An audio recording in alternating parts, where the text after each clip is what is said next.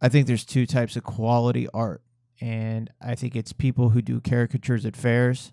We know those people are constantly getting laid. And the old guy who went blind painting uh, naked dudes on the ceiling.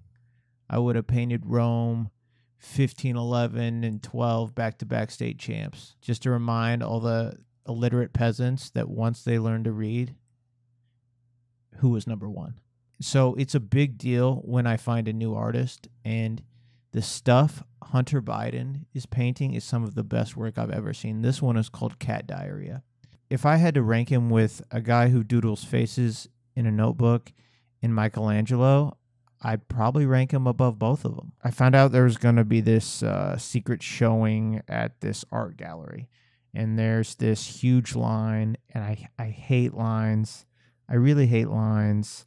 It's basically a bunch of polite hostages, and I mean nobody wants to be there. It's probably because we always use them around bathrooms. Like we put a bunch of people ass to face who can't control their bowels. Stop anyway, so back to the story. I'm I'm in this line to buy a gnome scrotum or chimpanzee fecal or whatever it's called. It, and it's basically a bunch of wealthy people, and you could just tell these people had money. Like most of them look like they would fart bubble bath in cinnamon. There was lots of beautiful women, hot chicks. A couple girls even looked at me, and you could tell they they look scared. They're like, "Help, get me out of here." It's a weird, weird vibe. And I look back at them and I'm like, I know. I hate lines too. And we get up to the front and there's this big window and you see the president's son, Hunter, making live art. And he's sitting there naked, covered in paint. Uh, Boyz II Men is blasting.